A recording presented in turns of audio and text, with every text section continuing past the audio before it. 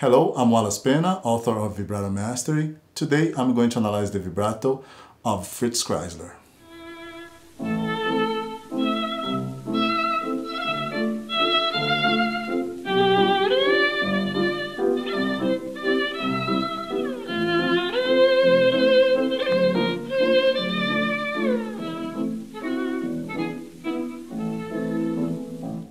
If you take the tempo of the music divided by 6 tuplets and use a narrow width, you will get the same type of vibrato chosen by Kreisler.